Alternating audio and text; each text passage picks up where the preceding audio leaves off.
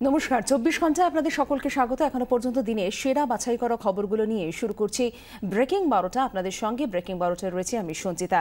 এবং প্রথমেই যে খবরে আমরা নজর রাখব, মুখ্যমন্ত্রীর নজরে এবার বেসরকারি শিক্ষা। আজ টাউন হলে বেসরকারি স্কুলগুলির সঙ্গে বৈঠকে বসছেন মুখ্যমন্ত্রী মমতা বন্দ্যোপাধ্যায়। মোটা অঙ্কের স্কুল ফি আর ডোনেশন মিলিয়ে হাঁসফাঁস অবস্থা আর তাতেই লাগাম টানতে উদ্যোগে মুখ্যমন্ত্রী মমতা বন্দ্যোপাধ্যায়। এবং এ বিষয়ে অভিভাবকরা, তারা কি বলছেন আমরা শুনব।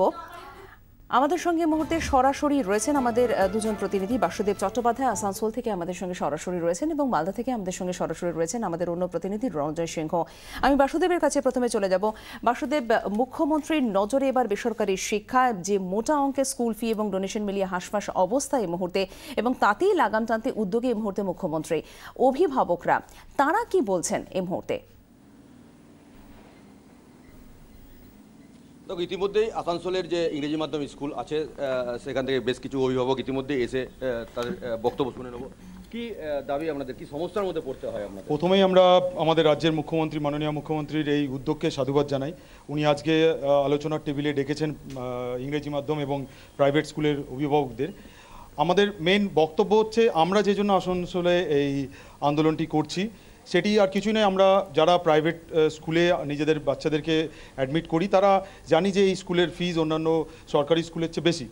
কিন্তু তা বলে তাদের যে আনজাস্টিফাইড কিছু ডিমান্ড থাকে, সেগুলো ক্ষেত্রে আমরা মানতে রাজি নই। যেমন আমাদের ক্ষেত্রে এখানে আসানসোলে এজিচার স্কুলে যেটি ঘটনা ঘটেছে এনারা নিজেদের বিল্ডিং তৈরি করার জন্য যে ফান্ড চাইছেন গত বছর ওনারা দিয়েছেন আমাদের কাছ থেকে ফান্ড ফিরছি তুমি আমাদের সঙ্গে থাকো। আমি মালদার প্রতিনিধি রণজার সাথে একটু কথা বলে মালদার যারা অভিভাবকরা রয়েছেন মুখ্যমন্ত্রীর যে এই উদ্যোগ তারা কীভাবে দেখছেন? তারা কি ধরনের সমস্যার মধ্যে পড়েন? তাদের যখন ছাত্র ছেলে মেয়েদের তারা বেসরকারি স্কুলে ভর্তি করেন কি বলছেন অভিভাবকরা? রণজয়?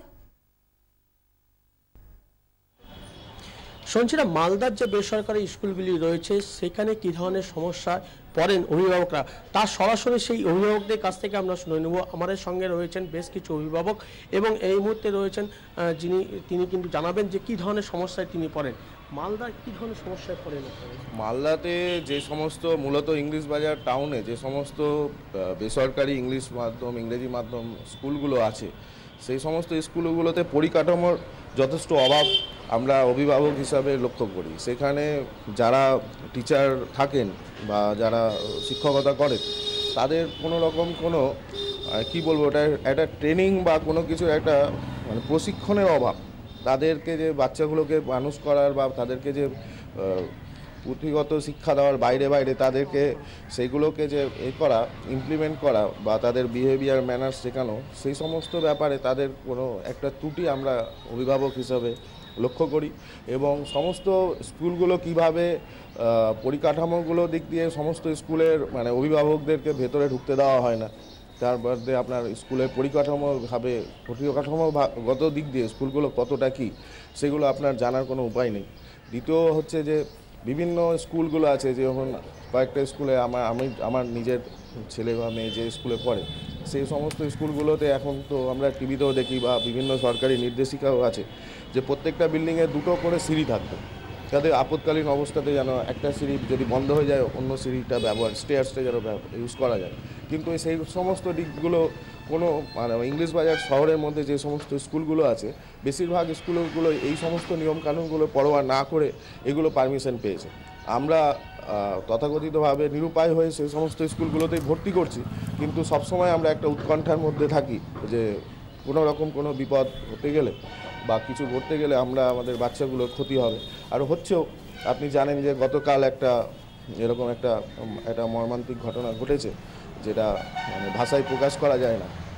ইংলিশ মিডিয়াম একটা স্কুলে রণজয় তোমার সঙ্গে যে অভিভাবক রয়েছেন তার কাছে একটা প্রশ্ন রয়েছে যে শিক্ষা কি ব্যবসায় পরিণত হয়েছেন? তারা ঠিক কি মনে করছেন?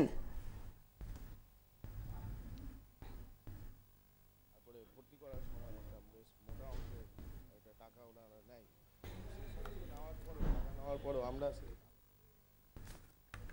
যে প্রতিদানের পর মানে আমরা বাচ্চাদের যে সিকিউরিটি যে দু তিন ঘণ্টা তো ওরা যে স্কুলে থাকে, সেই সমস্ত সেই জায়গাটা ফিডব্যাকটা আমরা ঠিকমতো পাচ্ছি না। এটা নিয়ে আমরা খুব হতাশার মধ্যে আছি। ব্যক্তিগতভাবে আছি আমরা আরও যে সমস্ত গার্জেনদের সঙ্গে কথা বলেছি, এগুলোতে আমরা একটা খুব হতাশার মধ্যেই আছি, বলা যেতে পারে।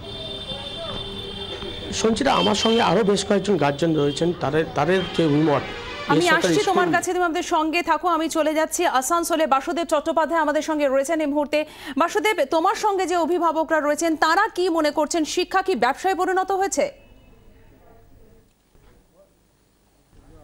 শিক্ষা কি ব্যবসায় পরিণত হয়েছে? কি বলবেন? না না ব্যবসায়িক না কি বলবেন? শিক্ষা তো শিক্ষার মতনই হওয়া উচিত। হ্যাঁ কিন্তু এখানে কি হচ্ছে? এখানে শিক্ষা হচ্ছে ঠিকই কিন্তু আমরা মাইনে দিতে রাজি আছি কিন্তু স্কুলে যে বিল্ডিং ফান্ডের যে পয়সাটা নিচ্ছে সেটা দিতে আমাদের আপত্তি কি বলবেন শিক্ষাকে ব্যবসায়ী কি পরিণত হচ্ছে? প্রথম কথা হচ্ছে শিক্ষার কোনো মূল্যায়ন এখানে হয় না বাচ্চার মেরিটের দাম হয় না পয়সার বিনিময়ে এজি চার্জ লরেটো এইসব স্কুলে বাবার ইনকাম ট্যাক্স ফাইল দেখে ভর্তি করা হয়। আমি আমি তার ভুক্তভোগী বর্তমানে আমার মেয়ে ডিএবি স্কুলে পড়ছে আমার আমার মেয়ের পরে যে অ্যাডমিশন দিয়েছিল যে মেয়েটি, সে সে নিজের বাবার নামটা উচ্চারণ করতে পারছিল না। অথচ আমার মেয়ে আজকে তিন বছর ডিএবিতে পড়ার পরেও এজি চার্জ এবং লরেটোতে কী কী প্রশ্ন করা হয়েছিল আজকের ডেটেও বলতে পারবে, কিন্তু কোন কারণে জানি না। পয়সার বিনিময়ে যেহেতু এজি চার্জ দিয়ে লরেটোতে ভর্তি হয়, আমার মেয়েকে ভর্তি নেওয়া হয়নি, বাবার ইনকাম ট্যাক্স প্রোফাইল কী বল, কী বলবেন আপনি? আমি এইটুকুই বলব যে, আজকে দিদি যে আমাদের অভিভাবকদের ডেকেছেন, স্কুল কমিটির এটাকে সত্যিকারের সাধুবাদ জানানো উচিত? হ্যাঁ। আমাদের সমস্যা যে প্রত্যেক বছর একটা রিঅ্যাডমিশনের যে চার্জ সেটা এত অত্যধিক এবং তার কোনো পার্সেন্টেজ নেই কীভাবে সেটা বাড়বে আমরা সেটা কোনো মতেই বুঝতেই পারি না। স্কুলের স্কুল হ্যাঁ আমাদের হয়তো আমি ডিএভি মডেল স্কুলে পড়ি আমার বাচ্চা পড়ে ওখানে। কিন্তু আমার পাশেই নারায়ণা স্কুল সেখানে স্কুল ব্যাগের দাম উনিশশো টাকা। শুনেও খারাপ লাগে জিনিসটা। হয়। হ্যাঁ ওখানে স্কুল থেকে মাস নিতেই হবে। স্কুল থেকে জামা প্যান্ট নিতে হবে। এগুলো তো উচিত নয়। একবারে যাতা জিনিস। আর রিঅ্যাডমিশনের ব্যাপারটা হয়। আমরা মনে করি একটাই জিনিস যে স্কুলের এই ধরনের প্রাইভেট স্কুলের নিয়ন্ত্রণের জন্য একটি আমাদের মাননীয় মুখ্যমন্ত্রী একটি রেগুলেটর তৈরি করুক যারা যাদের মাধ্যমে এই স্কুলগুলি নিয়ন্ত্রিত হয়।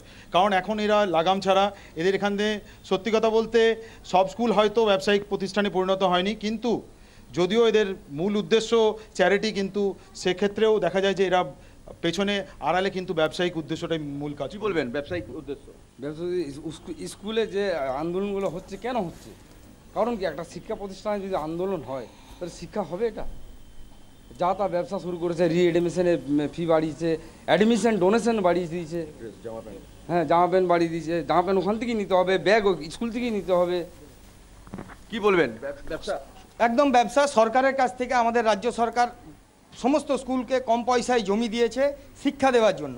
কিন্তু আমরা দেখতে পাচ্ছি তারা বিল্ডিং ফিজ থেকে শুরু করে স্কুলের ব্যাগ জামা কাপড় বইপত্র ম্যান্ডেটরি চাপিয়ে দেওয়া হচ্ছে যে এখান থেকেই নিতে হবে। এবং যে আমরা আমরা আমরা বাজারে স্কুল ব্যাগ কিনি তিনশো, চারশো, আড়াইশো টাকায়। সেখানে উনিশশো টাকা ব্যাগের দাম।